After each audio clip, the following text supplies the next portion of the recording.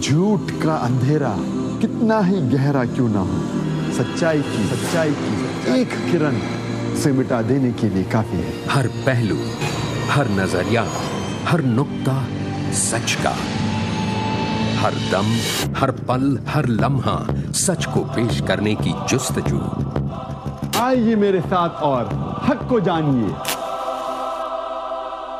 आलम इंसानियत के लिए सच्चाई की रोशनी।